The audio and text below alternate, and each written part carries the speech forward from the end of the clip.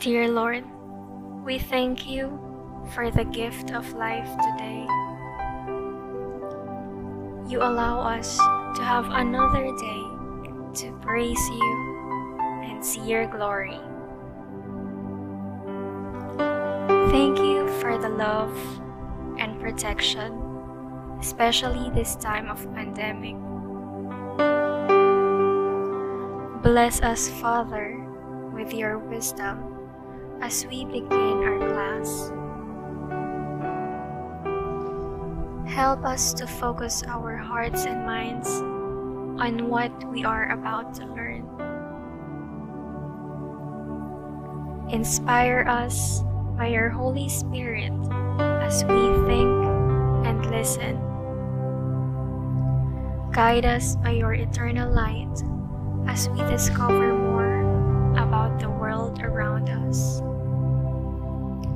Lord, we thank you and let your will be done in our lives.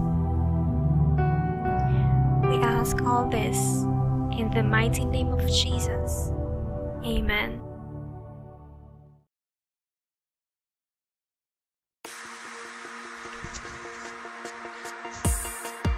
St. Joseph College.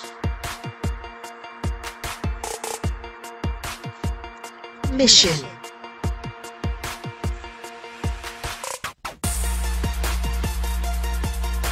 We commit to build the St. Joseph College Educative Family SJCEF centered on Christ to form every member into an integral human person imbued with the gospel values and equipped with excellent quality education and to be an active agent in making humane society.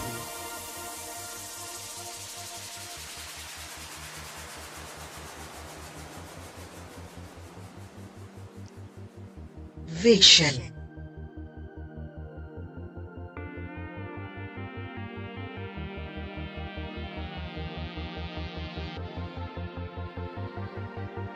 St. Joseph College, a Catholic school, envisions an evangelized and evangelizing community, providing excellent integral education and involvement in social transformation.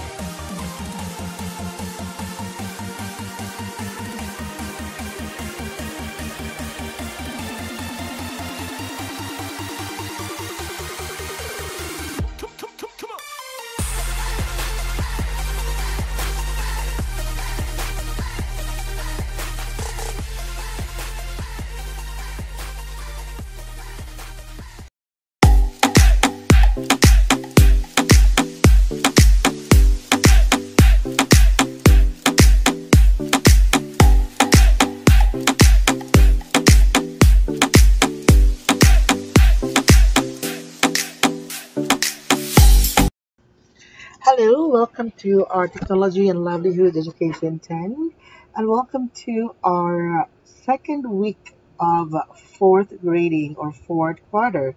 So I think this is the lesson, the second lesson for the fourth quarter. So before going to proceed, we have to review what happened during the first lesson. So it is the uh, first part of your lesson 5 on your work textbook, the cleaning living room, dining room, toilet and bathroom, which includes the cleaning surface, floors, furnishings, and fixtures. We have different kinds of floors. We also have cleaning different types of floors, how to maintain it and how to daily clean it.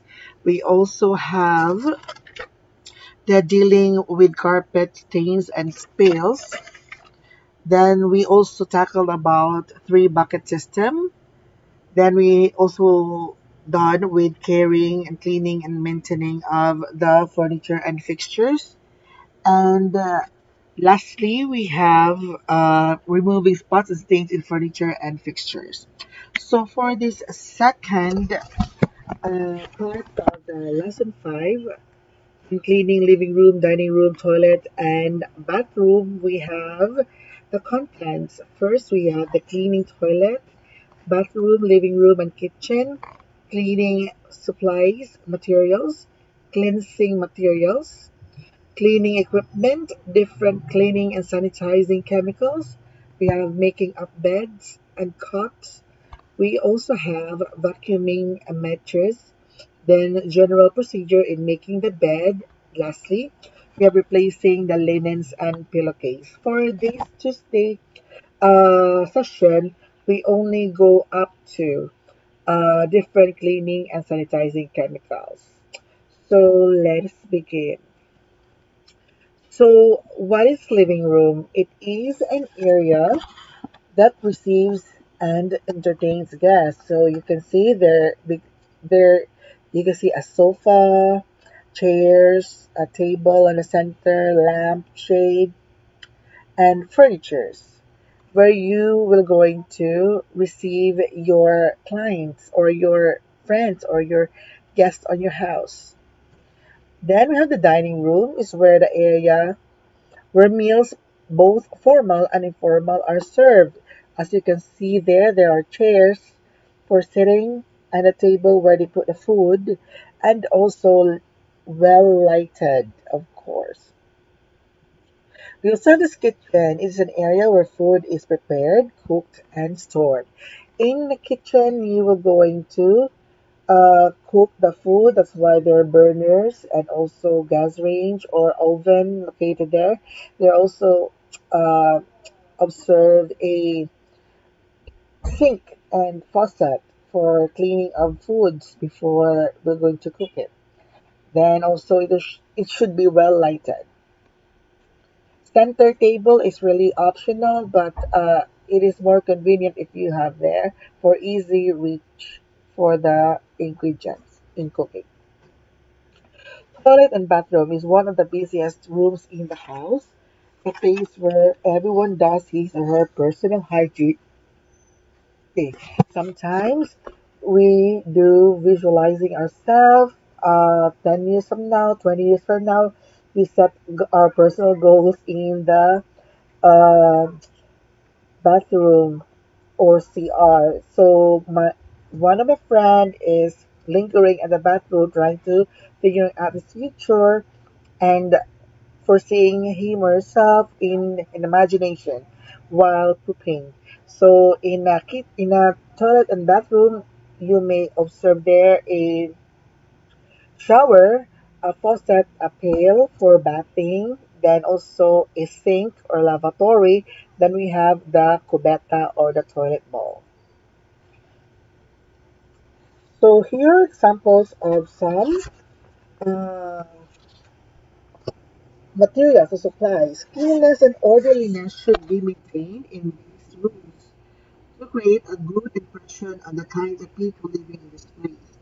Keeping the kitchen clean and its equipment sanitized is a must because this is where all meals are prepared. So that's in the kitchen. The bathroom is the place where everyone takes a bath and the toilet is the place where you can do your daily natural call or nature's call like pooping or urinating. So the place must be cleaned and well sanitized daily in order to be germ free. And in order to do that, we have the we have here the supplies. We have the scoring the scoring pad here Green pads are used for cleaning the tiles, the green part. Formica unpainted surface, countertops, and walls, while the white pads or the yellow pads, which is opposite of the green pads, uh, are cleaning painted surface, glass, mirrors, marbles, and porcelain. Wet pads should be or must be washed and rinsed after use. You should clean it before and after. We have dusting cloth for dusting wooden painted parts. Use this in dusting cloth. I mean, use this in dusting and cleaning and dry before using. So if example, dusting cloth should be used all the way for dusting, not that after a while you use this for cleaning like that. So you only set one kind of material or cloth for dusting. We also have the cleaning towel. It's used for drying bathroom walls and floor tiles after they're been cleaned. Keep cleaning to towels clean and dry before and after the use. So cleaning towel is used for cleaning or drying surfaces only. Do not use this for dusting.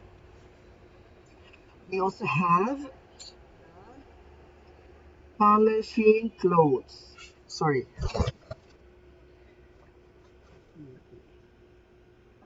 We have the polishing clothes here.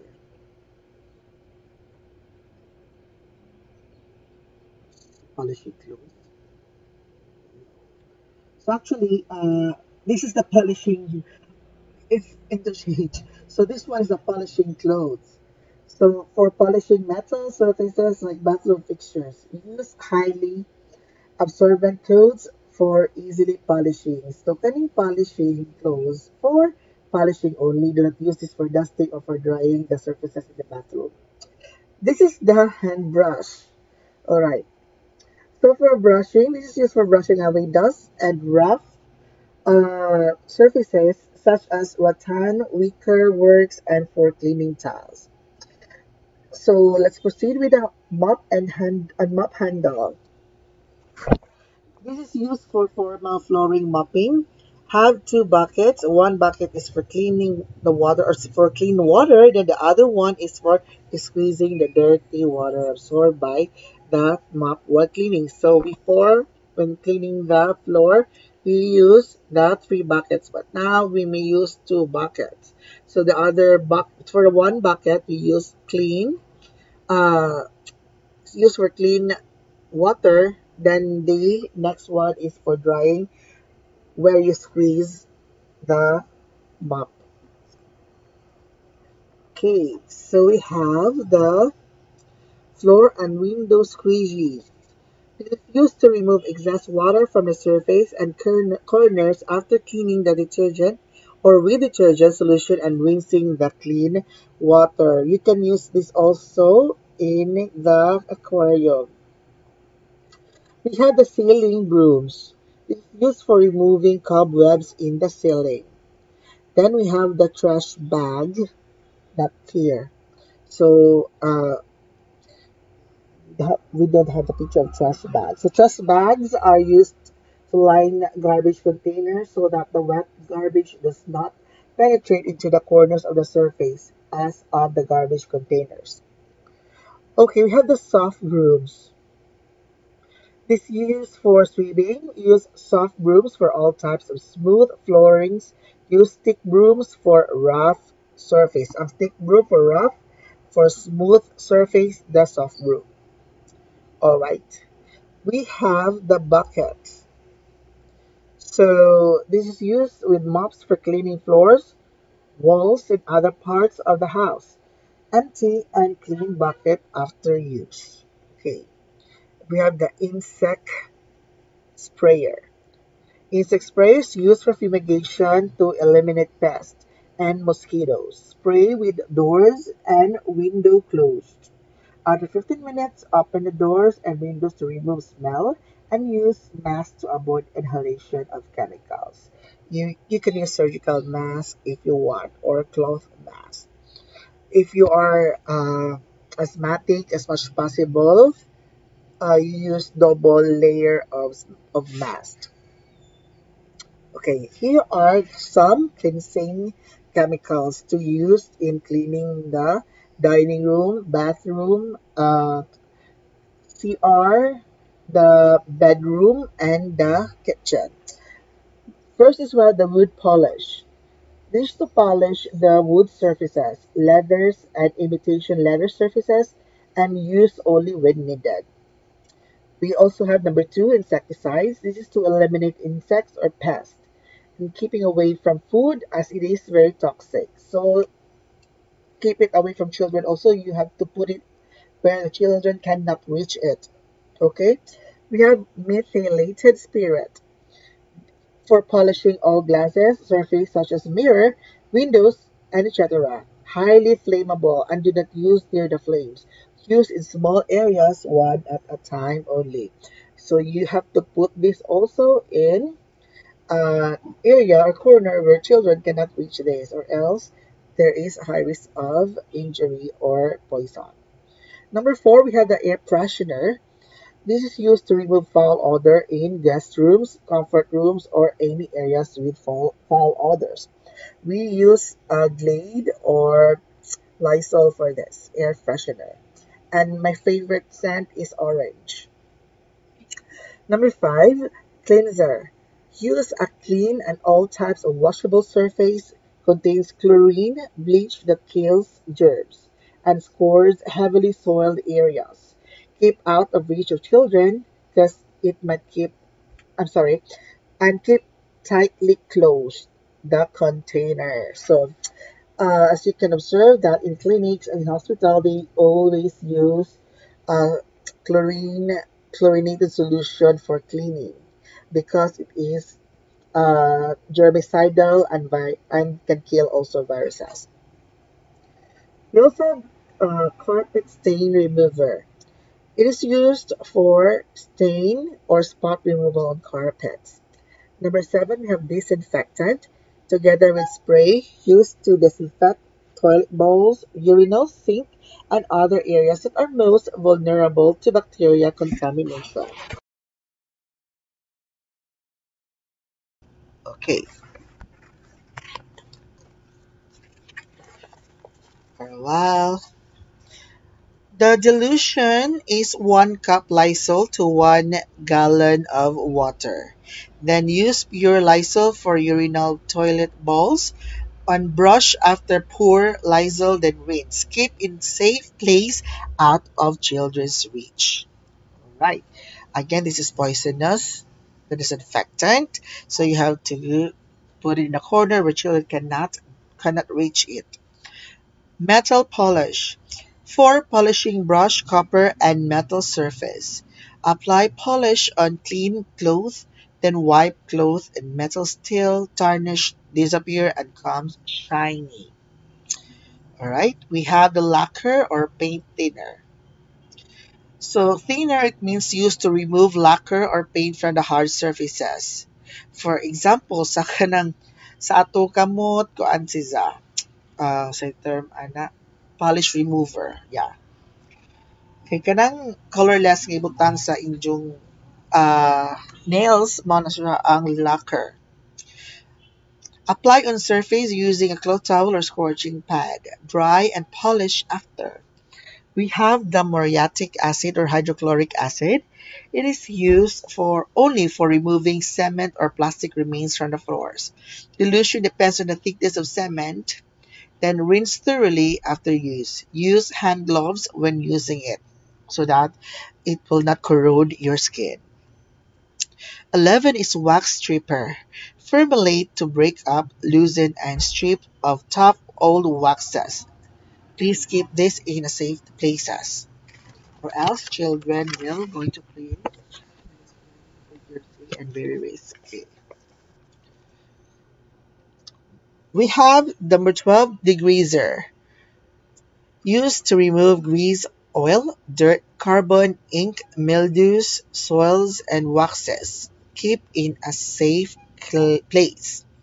So we have emulsion wax, a, buff a buffable wax used to resilient floors like vinyl, linoleum, and rubber tiles, and for concrete floors and marbles. For this one, you have to keep with other supplies out of children's reach. We have number 14. We have the drain cleaners. This is to expedite draining of clogs and keep in a safe place. So sometimes you use muriatic acid or hydrochloric acid in draining the uh, clogs in the bathroom or in the toilet bowl. Number 15, we also have furnish, furniture polisher. This contains cleansing conditioner that removes dust, smudges, and dirt, giving furniture a long-lasting shine. We have 16, we have marble cleaners. Makes marble shine and resist spots and stains. Then 17, we have oxal oxalic acid. is a bleach used in cleaning fabrics and in uh, cleaning marbles. mo ox na ox sa Zonrox kay oxalic acid siya. Okay. Next, we have the cleaning equipment uh, during the first uh, week or lesson for the quarter four. There are overviews of the cleaning materials or equipment in use in uh, cleaning the surfaces. Now it is more specific in cleaning the area, uh, whole area. Number one is the vacuum cleaner. It is used to eliminate loose soil and dust partic particles from carpet surface, upholstered furniture, and even hard surface. Dust bags must be emptied daily. So after using, roll back the wire neatly in the back of the vacuum cleaner, then place it on one end of the trolley.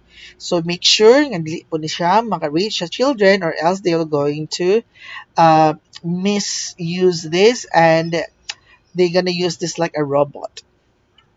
Number two, we have the floor polisher to be used in scrubbing, stripping, and polishing hard floors, surface, and also vinyls. Uh, wood, parquet, etc. Use appropriate pad for scrubbing, stripping, and polishing. Give the wax on the floor enough time to dry before polishing. So you should wait like 15 or 10 to 15 minutes to dry the wax in the floor before you use the floor polisher. We have a carpet sweeper para sa mga hotels or big convention areas or event place. Uh, use this to pick up dirt and particles from the carpet. Press the handle and push towards the dirt to vacuum sweep the carpet. Next, we have the hydro vacuum or wet and dry vacuum. It is an all-purpose vacuum for dry and wet surface. It is used also for absorbing water in flooded or wet surface. For example, mga suka or mga vomitus na you can use this. Okay. Carpet extractor. It is designed for dry foam shampooing for carpet. It removes dirt that sticks or penetrates into the carpet layers. Simply twist the hand grips and move the machine gently from one corner to the other one. So, pang social na na level. Okay. So next, before we're going to proceed with the different solution, we have to observe or watch this video for you to know and, or encounter what ratio and proportion means. So watch and learn.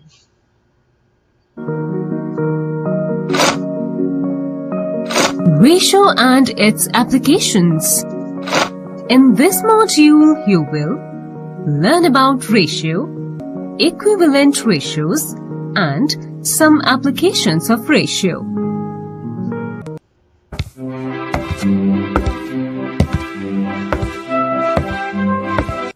Mom, I'm thirsty. Please make a glass of orange drink for me. Okay, Vinay.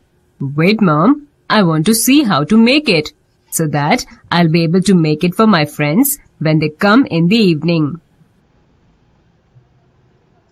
Mom, how did you know what to add and how much? It is written on the bottle.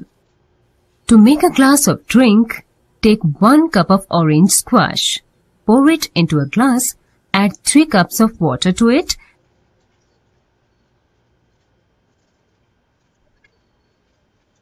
and then mix them well. Your drink will be ready to serve. Mummy, please make one drink for me too. Now, how will you add the squash and water to make the drinks for both of us? See, to make it for one person, we have to take one cup of squash and three cups of water. For two persons, we have to double the quantities of both the squash and water. That means we need to take two cups of squash and six cups of water. Think, if I have to make it for three, then we have to take three cups of squash and nine cups of water. Here, the quantity of water we have added is three times the quantity of squash. How did you find it out? If we divide the number of cups of water by the number of cups of squash, we get 3 each time. Mummy, it is denoting 3 times 1. Correct. You know, here you are comparing using ratios. What is a ratio? The comparison of two quantities in terms of how many times is called ratio. Here, the ratio of squash to water is 1 is to 3 and it is read as 1 is to 3. Using ratio, it is easy to calculate. How? The ratio of squash to water for one person is 1 is to 3. If we have to make it for two persons, then multiply the ratio by 2. Then it becomes 2 is to 6. For three persons, multiply it by 3. That is 3 is to 9. Can you find how much squash and water is to be added for 10 persons? For 10 persons, I have to take 10 cups of squash and 30 cups of water. And I come to know by multiplying the ratio by 10. Here, for all the ratios we have found, we have added water 3 times of squash. That means the ratio is constant here. Such ratios, which are obtained by multiplying or dividing by any counting number, are equivalent ratios. 1 is to 3 is its lowest form, as it can't be further divided. Correct. Now you get it.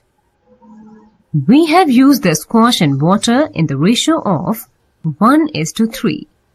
For this, can you write the ratio of water to one glass of drink made? I think it is 3 is to 1. No, Vinay, we can't calculate ratio in different units. Here, the unit for water is 3 cups. Then we have to use the same unit for the drink also. One glass of drink contains 1 cup of squash and 3 cups of water. That is, 4 cups are poured into 1 glass to make 1 drink.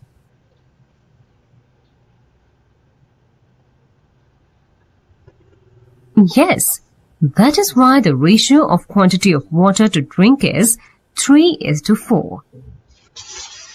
And for quantity of squash to drink, it becomes 1 is to 4. So, while writing ratios, first we have to convert different quantities in the same unit. Let's recap. Ratio the comparison of quantities in terms of how many times a quantity is of another quantity is called a ratio. Equivalent ratio. Ratios which are obtained by multiplying or dividing by any counting number are equivalent ratios. A ratio is a comparison between quantities in same measures or units.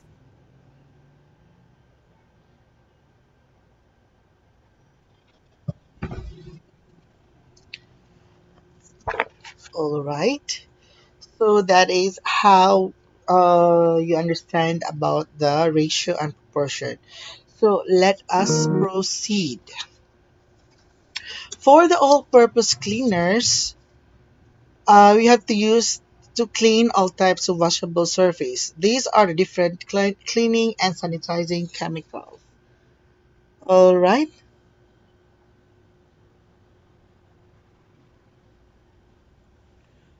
uh, we have the uh, ratio of all-purpose cleaner to the water depending on the type of material. So for the glass panels and mirrors, we have one part of the 100 part. That is one part cleaner to 100 parts of water. Then use a spray or wipe, then rinse and dry with clean cloth. Alright. So for steel, rubbers, fiberglass or formica, we have 1 is to 75. 1 part cleaner to the 75 parts of water. Then this use spray or wipe, then rinse and dry with clean cloth. Next we have for painted walls, surf surfaces, floors, and ceilings, we have 1 part cleaner to 50 parts of water. Then spray or wipe or mop, rinse and dry with clean cloth or mop. So again, keep in, in safe place or out of children's reach. So for example on this guys, sa kaning mga proportion, for example, kaning one part cleaner to 100 parts of water. For example, na akay 1 liter. 1 liter of water. So, namay 100 parts diha. No, giingon. So, 100, I'm sorry. There is 1 liter, so 1,000 milliliter. 1,000 milliliter. Then, you should divide it on how many parts. Okay, so divided by 100. So, equals, oh yeah, 1,000 divided by 100. 10. The result is 10. So, per part of the uh, solution is 10 ml or milliliter. So, per part man, so 1 part cleaner to 100 parts of water. So, sa 100 part o 1,000 milliliter nimo, 10 ml is the uh, part cleaner. Then kanang then mix it. Then here, for example, for rubber, for rubber, steel, then formica, we have one part cleaner and 75 parts water. For example, you have also uh, 500 uh, 500 ml or milliliter divided by 75 the 75 man ang parts dira o number of parts. So it's 6.66 so let's say 7 ato i-run up 7 so 7 ml of the sa 500 nga ml nga water 7 ml is the cleaner. Uh, diri sa uh, cleaner all-purpose cleaner used for wall surface, floors, and ceiling. For example, naakay uh, 700 ml water.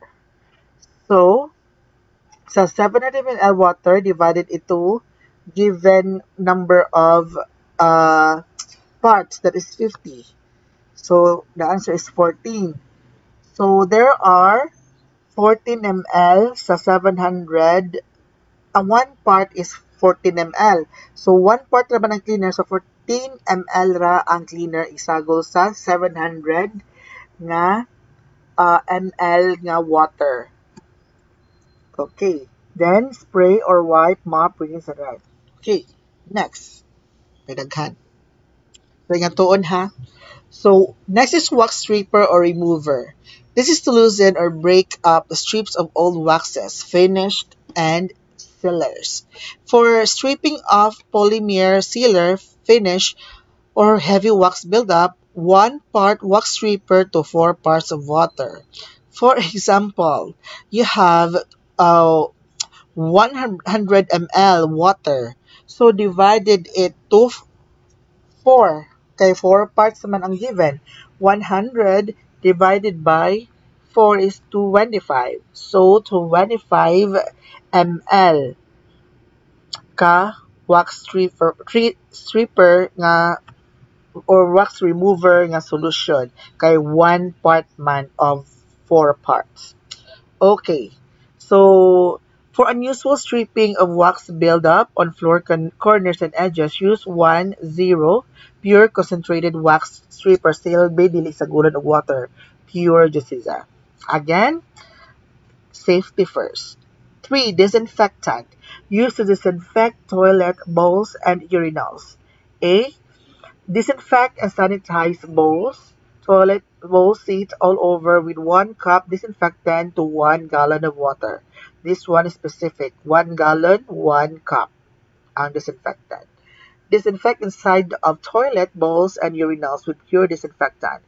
Do this for both as these areas already contain water then keep in safe place out of children's reach.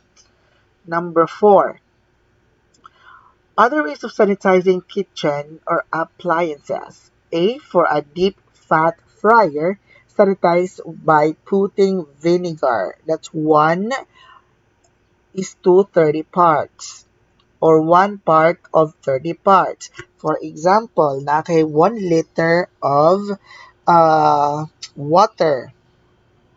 Okay, 1 liter of water divided by pila ka buo, pila ka parts, so 30. Okay, so 3.33 nga ml ang imo isagol sa 1 liter. So boil, drain, rinse, then let it dry. Sanitize dishes, glassware, and flatware with hot water that is 110 degree Fahrenheit to 140 degree Fahrenheit. Then, C. Sal soda to, to declog sink. Kanang mga kuan, liquid sosa. With 4 ounce 4 ounces to 2 gallons of water. Then use detergent to sanitize sink, side sinks of sink drain boards and working tables. Waste disposal, all garbage should be taken out every day. So, for your attendance, on our group page, please uh, comment there uh, a, a picture of your favorite dining, I mean, sorry, favorite living room design or your inspiration or anything that you want, uh, any, any look you want for your dining set. No, living set, I mean, living room. So, yung sala. So, picture of it, then, i kanang comment sa announcement kato sa group page nato sa Facebook. We will continue our lesson on Thursday. Either it will go into virtual or it is going to be like this. Pre-recording depending on my swab result. okay. So, okay. So, that's all. Please do your attendance and reminder your exam is due last last Monday. So, if ever you pass or submitted your exam, Beyond that, there'll be a succeeding deduction, points deduction. So do not uh, let the chance slide for you to be to for you to have a, a no deduction. So dapat on time. And uh, see you on Thursday. Bye.